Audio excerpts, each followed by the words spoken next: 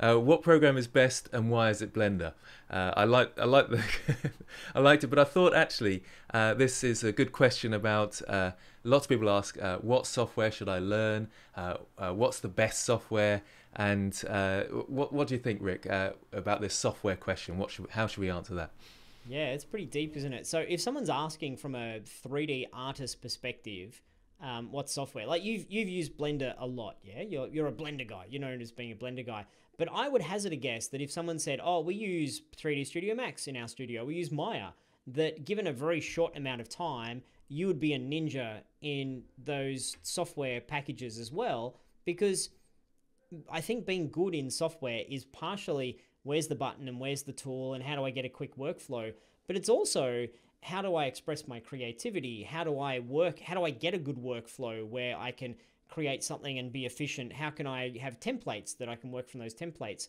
Um, you know, how, how can I be professional and disciplined? So I don't think the software matters as much as your general skill set. That if someone um, wants to be great at being a character artist, that you just learn how to be a character artist. You, you learn how to um, you know how to place the pixels and the and the faces and to move things around in a way that it unwraps nicely or that it textures nicely or that it that animates without creases in the arm. Like they're the things that you're going to learn irrespective of the software.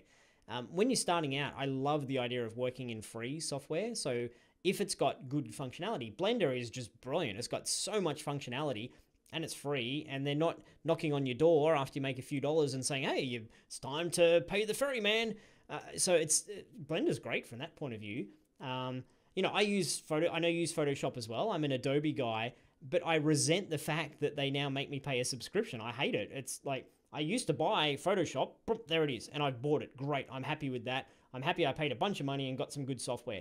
But now they're like, you're going to pay us every single month and we're going to update your software all the time so that if you're using that version and your friend that you're working with has updated it, then you can't work on the same file together unless you update as well. It's like, ah, Adobe, I know what you're doing here. But Photoshop's a great, I've learned it, I know it, I'm, you know, that's what I'm proficient at, so I keep using it.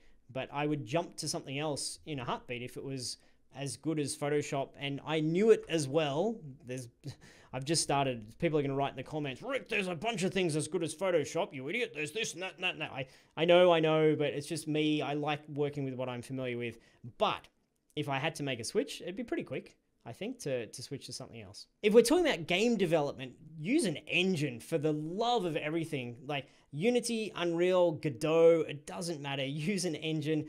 Don't try to make the stuff yourself unless you just, you know, you're a hobbyist and you want to make your own engine. But um, yeah, I think learn one thing, get good at it, and just stick with it. Awesome. Yeah. Uh, recently, my Adobe subscription uh, uh, ended. Uh, mm. So I thought, you know what, I'm going to try and take on free software. Oh. But because, uh, but unfortunately, it's just the time it takes to learn that new software yeah. uh, is stopping me from doing it. But um, I did actually go from Photoshop to GIMP. Oh. Uh, and I'm, I'm using GIMP now for my titles. Uh, instead of Photoshop, and I've just got an Adobe Premiere license because it would just take too long for me to yeah. pick up DaVinci. So yeah. Uh, DaVinci Resolve is if you want to go free for video editing. GIMP if you want to do uh, Photoshop, but uh, do it for free. Krita if you want a drawing program. I use Krita all the time. Yep. Uh, and uh, Blender uh, is is as this person says, it is the best. yeah. But yeah. um, it, but it is that case of it's not really about um, learning the programs, and it becomes less and less that. Uh, it's about learning the skills mm. that will jump from program to program, and that uh, some of these free programs can be a bit annoying. Blender was annoying in the past that it had like right click to select um, was really awkward and it was not transferable. But nowadays, Blender's mm. becoming much more transferable in terms of skill level.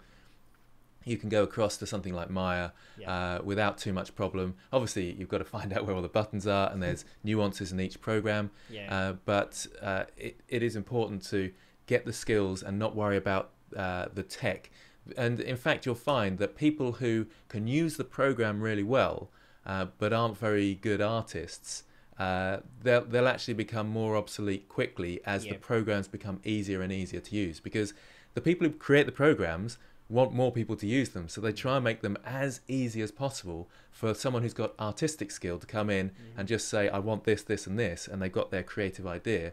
So the more tech skills you have, and you think, oh, I'm brilliant at this program, uh, that's actually going to diminish, and your it's going to be about your creative and artistic skills that's more important. Um, so it's important to bear those things in mind and not worry too much about what program do I need to learn on.